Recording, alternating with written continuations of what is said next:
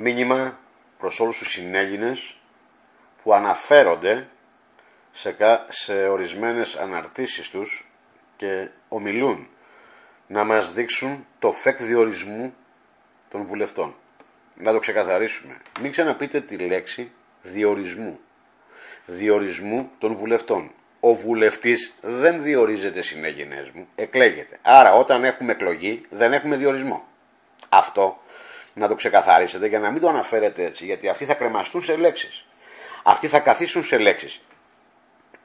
Να το ξεκαθαρίσουμε. Ο βουλευτής εκλέγεται, δεν διορίζεται. Προσέχτε. Και η κυβέρνηση όταν βγαίνει, δηλαδή με τους πιο πολλούς ψήφους, διορίζει τους υπουργούς. Κακός. Διότι στον κοινοβουλευτισμό δεν έπρεπε να διορίζουμε. Έπρεπε να καταφεύγουμε σε πέντε άτομα με μια καθαρή ισοζυγία και εισηγορία, δηλαδή έχουμε πέντε ίδιους καλούς οικονομολόγους και από τους πέντε ζητάμε από την Βουλή να ψηφίσει ποιος θα είναι υπουργός Οικονομικών. Εκεί έχουμε πάλι εκλογή. Αλλά δεν το κάνει αυτό η κυβέρνηση και καμία βέβαια, διότι δεν εμπιστεύεται την εκλογική διαδικασία και έτσι διορίζει. Άρα, από τους βουλευτές διορίζει διορίζεται ο βουλευτής σε, κυβερ... σε υπουργική θέση. Αλλά είναι ήδη βουλευτής. Ο βουλευτής είναι πάντα εκλεγμένος. Άρα μην ξαναδώ πουθενά γραμμένο, δείχτε μας το φεκ διορισμού σας. Ποιο διορισμός να σου κάνει. Διορίζεται ο δάσκαλος. Τον οποίο τον διορίζει το Υπουργείο, εφόσον δε πάρει κριτήρια, ότι τα κριτήρια αυτά συμπίπτουν με αυτά που ζητάει, ε, με τα κριτήρια που έχει ο δάσκαλος. Και βγαίνει ο δάσκαλος να πάρει τη θέση. Ή ο αστυνομικός δεν διορίζεται ο, ο, ο βουλευτής. Ο βουλευτής εκλέγεται. Όταν έχουμε εκλογή, ποιο θα τον διορίσει. Αν έχουμε διορισμένους ανθρώπους στη Βουλή, τελειώσαμε. Τότε μιλάμε για μαύρη αποστατική δυναστεία. Απαγορεύεται. Δεν υπάρχει διορισμός. Η κυβέρνηση μετά διορίζει υπουργούς, όπου ο πρόεδρος της Δημοκρατίας το δέχεται. Γιατί έλεγξε ο πρόεδρος της Δημοκρατίας ότι αυτή η υπουργοί είναι καλή και το δέχεται. Μπουρδες συνεχόμενες αποστατικές. Δεν έχει καμία ένσταση. Και το κάνει προεδρικό διάταγμα. Άρα διορισμό δεν μπορούμε να έχουμε σε εκλογή. Έχουμε μια καθαρή εκλογή όπου η εκλογή είναι νόμος. Όπως και οι εκλογές είναι νόμος. Που σημαίνει τα αποτελέσματα των εκλογών είναι τα προϊόντα των εκλογών να το πω έτσι. Είναι οι βουλευτές οι οποίοι αυτοί μόνο με νόμο στη Βουλή γίνονται βουλευτές. Πριν είναι εκλεγμένοι. Και για να γίνουν με νόμο στη Βουλή πρέπει να συσταθεί η Βουλή σε σώμα. Αν δεν υπάρχει φέκ σύσταση σε σώμα, ένα σώμα. Γιατί ένα σώμα ψηφίζει. Η σφραγίδα της Βουλής που λέει ψηφίστηκε σήμερα στη Βουλή ο τάδε νόμος, πρέπει να είναι η Βουλή σε σώμα. Αλλιώς δεν μπορεί να βγάλει νόμο. Αλλιώς θα βγάζει εκεί μέσα 300 νόμους ο καθένας και θα τα δημοσιεύει. Δεν γίνεται. Άρα καταλάβατε το διορισμό. Μην ξαναγίνει το λάθος να ζητάτε διορισμούς από τους εκλεγμένους. Είναι εκλεγμένοι. Ο πρόεδρος Δημοκρατίας είναι εκλεγμένος. Από τη Βουλή. Δηλαδή από τους βουλευτές. Οι οποίοι είναι με ονομαστική ψηφοφορία, λέει πάντα το Σύνταγμα. Ωραία. Πούντο. Αμέσως μετά την εκλογή του Προέδρου που ψηφίσανε 250-240, θα πρέπει υποχρεωτικά εκ του νόμου να είναι σε ΦΕΚ οι βουλευτές που ψήφισαν τον Πρόεδρο Δημοκρατίας με 220, 250, 235. Πού είναι αυτό; Αν δεν υπάρχει αυτό δεν έχεις Πρόεδρο. Ορκίστηκε λέει ο Πρόεδρος. Ε και; Πού ορκίστηκε; Στον Ιερώνυμο, στο Γιαχβέ, στο Θεό του Χάους. Και τι μας νοιάζει; Και τι όρκο έδωσε; Και εντάξει, άντε.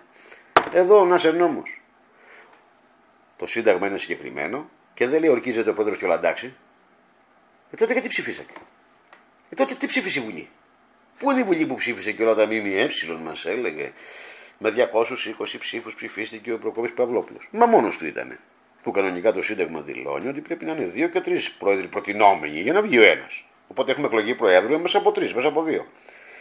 Είναι ένας και κάνουμε και εκλογή; Οπότε δεν έχουμε εκλογή. Οπότε έχουμε μια φασιστική λύση. Αυτός είναι παιδιά σας, σας αρέσει, ψηφίσετε.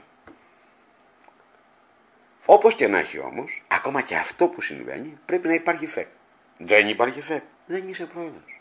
Δεν υπάρχει φεκ ότι συστήθηκε η Βουλή σε σώμα με αυτούς τους βουλευτές. Η Βουλή συστήνεται με σώμα, σε σώμα με αυτούς τους βουλευτές, με αυτές τις πολιτικές παρατάξεις, οι οποίες με τόσους σταυρούς, με τέτοιες έδρες πήρανε βάσει του εκλογικού νόμου και είναι οι βουλευτές αυτής στη Βουλής. Σήμερα στη Βουλή υπάρχει άνθρωπος ο οποίος δεν είναι βουλευτής, γιατί χαρίζουν και 50 έδρες. Όταν χαρίζουμε 50 έδρες θα πάθετε, θα πάθετε μεγάλη πλάκα όταν δείτε ότι υπάρχει βουλευτής στη Βουλή με 500 σταυρούς και με χίλιους. Ε; Και ψηφίζει για εσένα. Ε βέβαια, είδες που δεν έχει κόσμο. Είδες που δεν έχει κοινό. Και άμα βάλεις την τετραστραυρία, τέσσερους σταυρούς και τρεις σταυρούς που έχουν στην Αθήνα και σε άλλες πόλεις, θα δεις ότι ένας βουλευτής με 5.000 άτομα, όταν συντονίζονται οι σταυροί ο καθένας να ψηφίσει τον καθέναν, δηλαδή ο κάθε βουλευτής που παίρνει τέσσερους σταυρούς, όταν συντονιστούν οι κλαδικές, θα δείτε ότι με 5.000 άτομα μπορούν να βγάλουν ο ίδιος βουλευτής να βγουν τέσσερι βουλευτές με τα ίδια άτομα. Δεν τα ξέρεις αυτά. Δεν πειράζει. Είναι πιο βαθιά. Α πάμε όμως αυτά που καταλαβαίνεις τώρα. Κοίτα να καταλάβεις καλά ότι δεν υπάρχει διορισμός στην εκλογή. Η εκλογή είναι εκλογή. Και δεν υπάρχει διορισμός. Η κυβέρνηση διορίζει. Κακός καλός, θα το δούμε. Καλά. Βρέστε λοιπόν τώρα το σύσταση σε σώμα που βγάζετε νόμους και μας έχετε διαλύσει, που παρανόμω μας διαλύσατε και ό,τι νόμο έχετε βγάλει δεν ισχύει και το συζητάμε. Αυτό είναι κάτι διορθωτικό που δεν πρέπει να ξανασυμβεί από την Ελληνική Συνέλευση. Η εκλογή είναι εκλογή και είναι λαϊκή εντολή. Δεν μιλάτε για λαϊκή εντολή, ρε παιδιά. Ωραία. Πούτι. Σου έδωσε ο λαός λαϊκή εντολή. Ποιος λαός; Λοιπόν, ο λαός της τάδε περιφέρειας έδωσε λαϊκή εντολή στον κύριο Μιχαλόπουλο. Πολύ ωραία. Στον κύριο Πετρίδη. Ο οποίος του έδωσε λαϊκή εντολή 10.000 σταυρούς. 5, 7, 8, 9, 3, 2, κανέναν. Φέρτο. Αυτό πρέπει να είναι δημοσιευμένο και με πόσους σταυρούς πήγε. Και υπάρχει και το χαρτί του εισαγγελέα που το επιβεβαιώνει. Όταν έρθουν και συναντηθούν τα χαρτιά του εισαγγελέα με τα αποτελέσματα της Singular και με όλες τις, και με όλες τις τοποθετήσεις που έχουν γίνει στα ΜΜΕ, τότε οι φυλακές δεν σας φτάνουν. Πρέπει να πάτε στα τάρταρα. Το τι έχετε κάνει ξέρω εγώ καλά. Τώρα θα μάθουν και οι Έλληνες και ο πολίτης. Και για να γίνει αυτό θα πρέπει να γίνεις πολίτης, να κάνεις την πολιτική μόνος σου. Να μην το κάνω εγώ. Γιατί η πολιτική είσαι εσύ ο ίδιος όπως είπα. Άρα πρέπει όλοι οι συνέλληνες, όλοι οι Ελληνάνθρωποι, όσοι γνωρίζετε, να βγείτε, να ψάξετε τα φεκ, να τα βάλετε στον αέρα, να τα σχολιάσετε, να κάνετε εκπομπές. Ανοίχτε παντού λοιπόν, τόσα γραφεία έχουμε η Ελληνοσυνέλευση. Στήστε παντού κάμερες και βγάλτε όλες τις αλήθειες στον αέρα. Κάντε το. Δεν είναι τίποτα. Αυτό λέει το ΦΕΚ. Αυτό έπρεπε να γίνει, αυτό δεν έγινε. Δεν έγινε, είναι παράνομο. Μαζεύτε τα όλα αυτά. Αν εσείς δεν κάνετε τη μελέτη και αν εσείς δεν κάνετε τις διαπιστώσεις σας το τι έχει συμβεί, ποιος θα το κάνει; Θα το κάνει η υπηρεσία της Ελλήνου Συνέλευσης; Εσείς είστε στην υπηρεσία της Ελλήνου Συνέλευσης. Ο ίδιος ο πολίτης, ο ενεργός είναι. Εσείς είστε. Δεν υπάρχει μια κεντρική που ασχολείται και κάνει αυτό.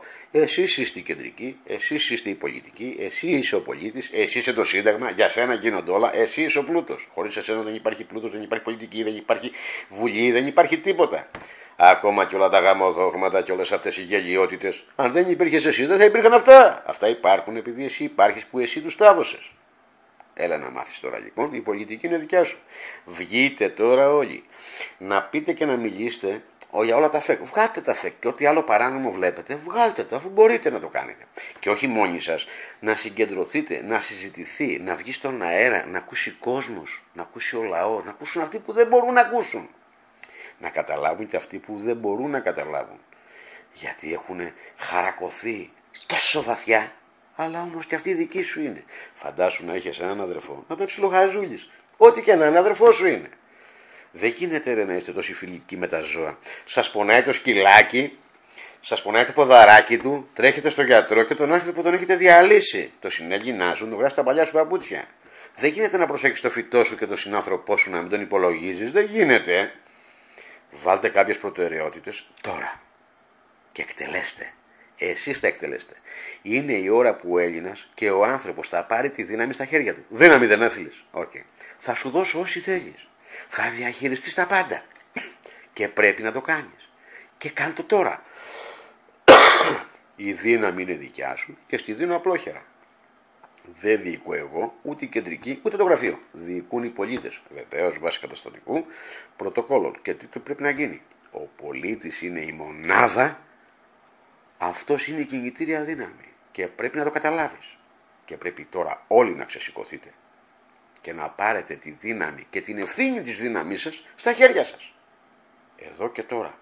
Αγωνιστικούς χαιρετισμούς. Εκτελέστε. Δεν θέλω να ακούτε τα ηχητικά, θέλω να τα εκτελείτε. Εκτέλεστα. Για σένα είναι και σε σένα ανήκουν όλα. Εκτέλεσε. Πράξε. Τώρα.